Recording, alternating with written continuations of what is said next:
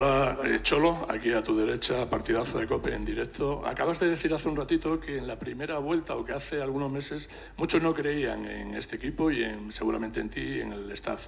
Eh, me gustaría saber si puedes precisar qué parte eh, y quiénes son los que no creían y si te ha dolido mucho que en ese momento se dudara de ti. No, porque sé lo que, lo que busco, porque creo en lo que hago, porque no me importó nunca lo que dicen los demás, nada de nadie y me importa lo que veo, lo que pienso, lo que siento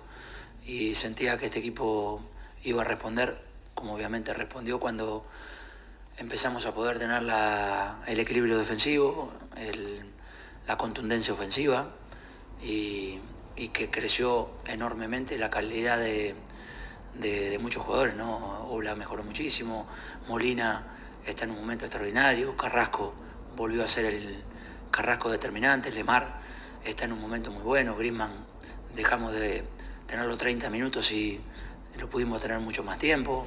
Eh, Axel cuando le tocó respondió, Xavi, Jiménez, hermoso la temporada que terminó haciendo o que está terminando eh, en estos últimos partidos. Álvaro ya tiene sus 12 goles que lo, lo meten en esta lucha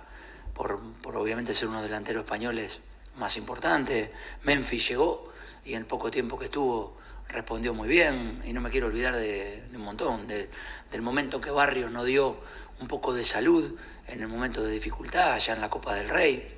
y en el inicio post-mundial, el grandísimo momento de De Paul, la presencia de Coque, o sea, hay muchísimas cosas que han ayudado a que lo que pensaba podía suceder.